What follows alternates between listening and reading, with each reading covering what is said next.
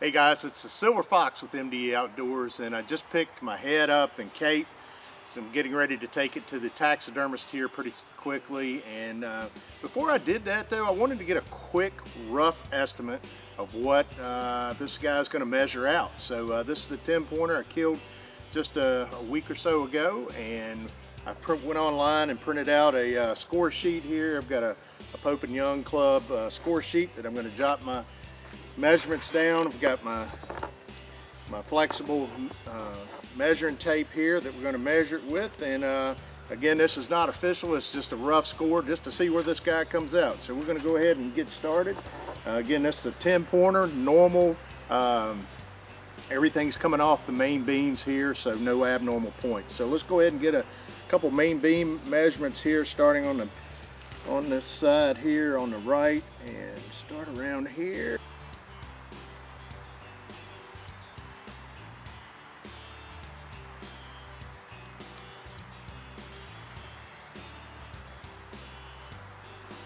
Twenty-one and an eighth on the right main beam.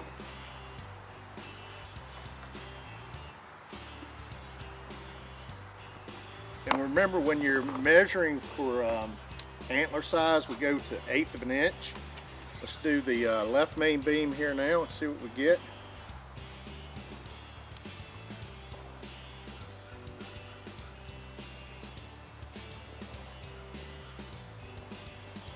Twenty-one and four eighths, so three eighths of a difference there.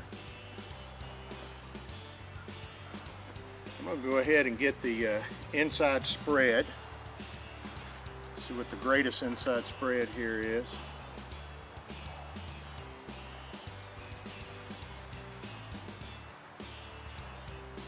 Sixteen and two eighths. Now we're ready to measure first point. Four inches even, four and zero eighths. Put this one on this side. This one is four and two eighths. And uh, G2 here on the right side.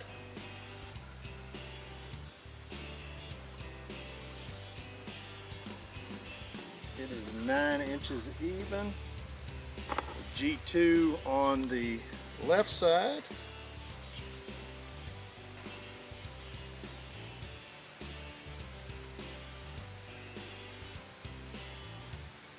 is nine and seven eighths. And let's get our G3.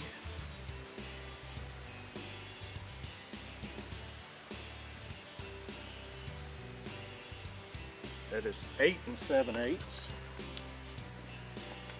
And our G3 on the left side.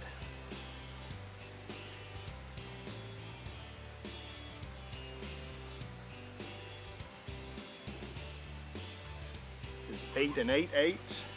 Excuse me, eight and seven eighths. Eight and seven eighths. And our G4 here on this side.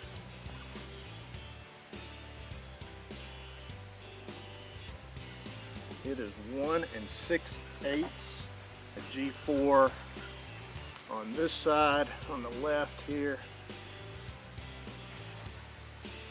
It's two and 3 eighths. I'm to go back to this one on the on the right side. It looks a little longer. I don't know if I'm. Yeah, I measured that one incorrectly. I said one and seven eighths. It is actually two and four eighths. Not sure what exactly I was doing there. So, uh, all right. So we've got all of our point measurements now. Now we're going to go ahead and get some circumferences. We've got to take four circumferences. Uh, we're going to do one down here base near between the uh, first point, the brow tine. It is four and two eighths on the right. On the left side, it is four and three eighths. between our G1 and our G2. We are three and six eighths on the left side. left side looks a little thicker, so we'll see what it, it comes out to be. Yeah, it is. Um, it is. It is four inches on a four and no eighths. And our neck circumference here. Get, good thing is this guy carries some of its some of his mass on out. This one is three and six eighths. This one is three and seven eighths. And we're gonna get one more here, one more circumference. And that is three on the nose, three inches even, two and seven eighths. All right, so we've got all of our required measurements here. So now we're gonna calculate it up and see what, what it comes out to be. Uh, again, this is just a rough score. We're just doing a gross rough score on, on this guy here and uh, not an official measurement or anything, but just get us an idea of, of what this deer measures out to be. So you can get the, pull up my calculator here on, on my phone. And there's also some uh, calculators out there on, on some websites you can pull up to do this on. Let's do some quick calculations here. And uh, excuse my counting here. All right, so we're gonna measure or add up all the measurements here.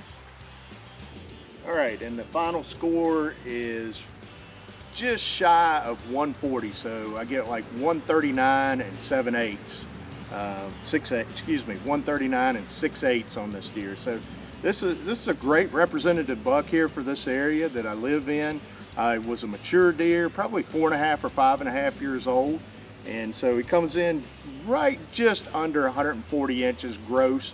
And again, that's not a uh, not an official score, but it's a quick down and dirty just to get an idea of where it's gonna he's gonna land. So uh, guys, I appreciate you watching and remember, shoot straight and get your kids outdoors.